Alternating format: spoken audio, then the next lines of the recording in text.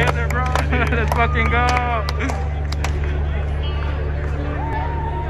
also, they better, they, I really know they play back like if that song's just like just beautiful rap shit I've ever heard.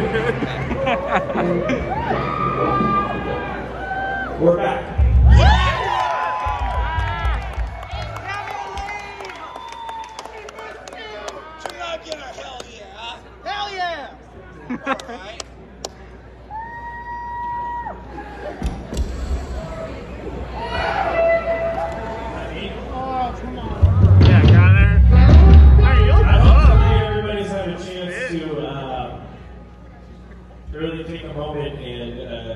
Like collectively, the thousand plus of us here, I think there's a lot of existential dread happening lately. and I hate to like bring that up, but I think it's kind of important to, to do so and to recognize that it's like it's just moments like this where we can really set aside the dread and like uh, do something that we used to do, which is watch music and play music. Yes.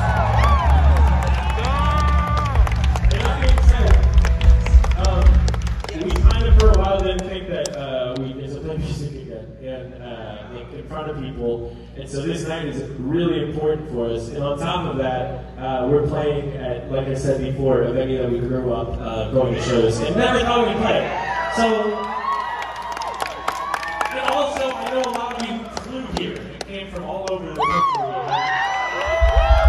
Means so much to us. So the last thing I just want to say is uh, enjoy your stay in St. Louis and thank you for spending the proudest night maybe of our entire career with us.